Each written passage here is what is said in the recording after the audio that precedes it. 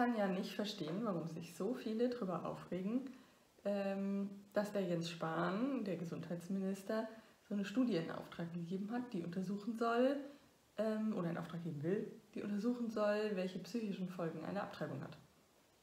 Das ist doch eigentlich sinnvoll. Also ich weiß jetzt nicht, ob das so sinnvoll ist, dafür Geld auszugeben. Aha. Ich bin mir nicht sicher, ob es dabei tatsächlich um das Argument Geld geht. Vielleicht, wenn man diese Studie durchführen würde, würde man vielleicht auch was entdecken, was man gar nicht entdecken will. Wie meinst du das jetzt? Naja, also die körperlichen Folgen einer Abtreibung sind ja recht evident. Sowohl für die Mutter wie auch für das Ungeborene. Das Ungeborene ist tot und die Mutter hat kein Kind mehr im Bauch. Ja. Aber was ist mit der Psyche der Frau? Und Ja. vielleicht sogar auch des Mannes. Was, was soll schon sein mit der Psyche? Also die Frau geht halt zur Abtreibung, das Kind ist weg, und das Leben geht weiter wie normal. Weißt du das so genau?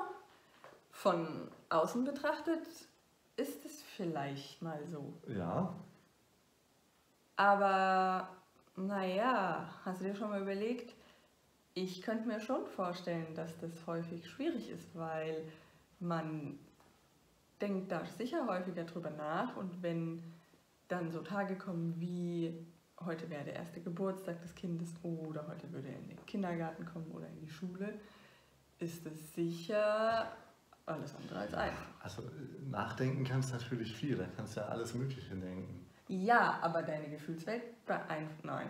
Deine Gedanken beeinflussen auch deine Gefühlswelt. Und zwar in nicht unerheblichem Maß. Von daher ähm, glaube ich schon, dass das sinnvoll ist. Und übrigens fällt mir in dem Kontext auch noch ein, erinnerst du dich noch an Jessica?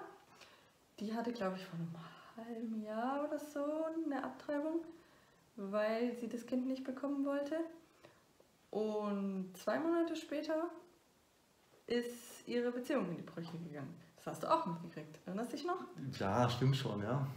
Von daher glaube ich ähm, schon, dass das sinnvoll ist, da mal genauer hinzugucken, was für psychische Folgen denn so eine Abtreibung haben kann.